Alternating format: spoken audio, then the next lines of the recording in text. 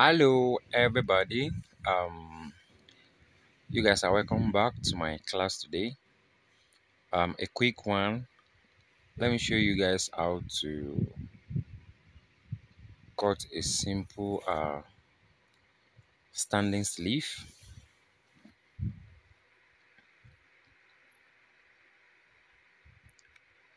Um, in this case, just as if you're cutting your normal basic sleeve.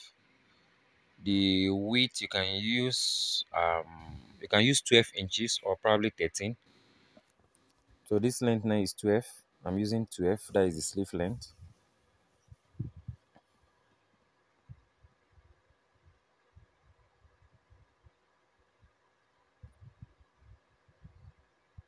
So the width here the width here is 12 inches then the length is also 12 i have 12 inches here.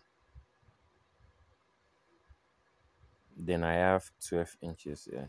So this width the 12 inches is not constant but at least it's moderate. So covering the armhole part you can use three.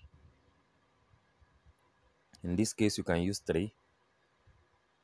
In this type of sleeve that i want to cut that i want to show you guys you can use three. You know normally i usually see five inches you can decide to use three inches. Then better still you can even still use either four or that same five inches. At the end of everything it's still going to give you uh it's still going to give you what you want.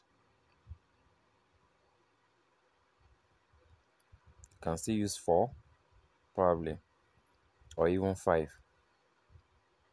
So don't get confused if you are trying to have um double mind about the three inches just use your five or four inches and rest. So mind you this this stuff this fabric i'm cutting is two.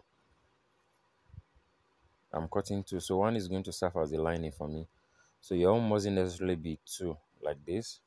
You can decide to just uh use lining. But i'm using that same fabric uh to turn it. So this is this is a peplum stay can also call it collar uh collar gum so you're going to leave out just half inch here for the swing you gum it. You make sure you gum it very well. So I've, I've already gum it and I trim it out.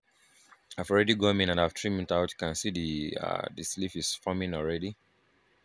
You can use the thicker version of that collar stay or the softer one whichever one but the thicker one will do more justice I think.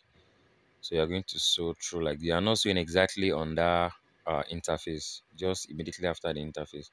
So after when you join it's going to turn like this then you tag it down round. So this is it. I've already turned it. Just like i said this other one is serving as a lining. You can use your lining. So this is it. So after sewing you can even top stitch can top stitch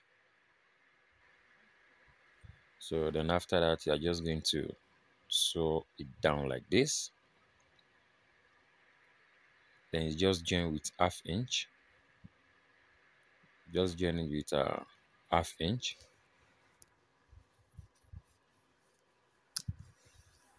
So i've already done that. The sleeve is very very simple. I've already done that so this is it so this upper part definitely is going to have um it's going to have pleating at this upper part. You're going to have pleating right so if you like you can do the pleating even before you fix on the armhole. You can see the way it's forming already. You can decide to just do the pleating and sew it. That is before or before attaching it to the armhole. You can see how beautiful it is. And it's standing very well. So it's just as simple as that but if you think you can pleat it you can do the gathers at the upper parts on the dress or, or the top or top whatever you are uh you are making. You can decide to just do it that way. So it's as simple as that. Thank you guys for watching. Please don't forget to share and subscribe